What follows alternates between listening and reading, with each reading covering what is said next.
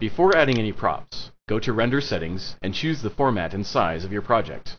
In this case, it's a ratio of 4 by 3 and a size of 1000 by 750 pixels.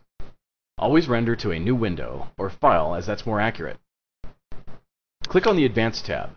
These are the settings that will work most of the time.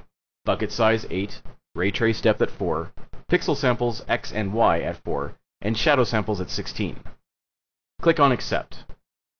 Making a render often involves several props or characters at various sizes.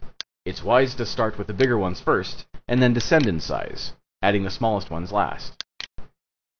In the Content tab, locate Props and Stonemason. Select Tin Can P6.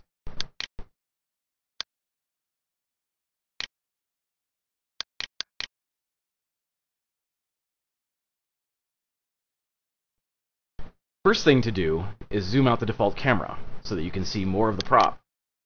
In the Scenes tab, select Default Camera, head over to the Parameters tab, and adjust the focal length to 22 millimeters. This will give you a wider view of the room and allow you to orient yourself more easily.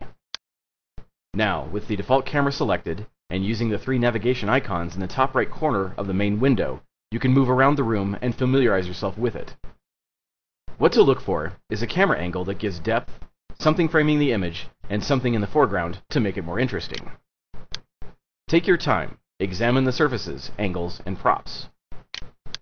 Placing the camera is one of the most important parts of creating a great render. What you are looking for is balance. Usually, when something feels good, it means it is good. The same applies for camera angles.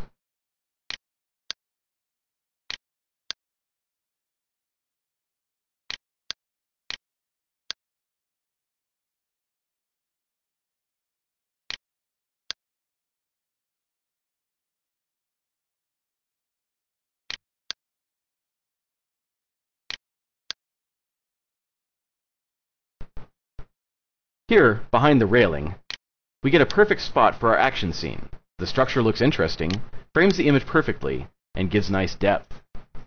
When you have a low camera angle, it often looks good to point or tilt it up a bit to catch a bit of the ceiling. When you can't move the camera backward anymore, you can always adjust the focal length down to see more of the room.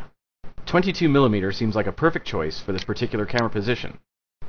Okay, with the camera in place, let's bring in some friends.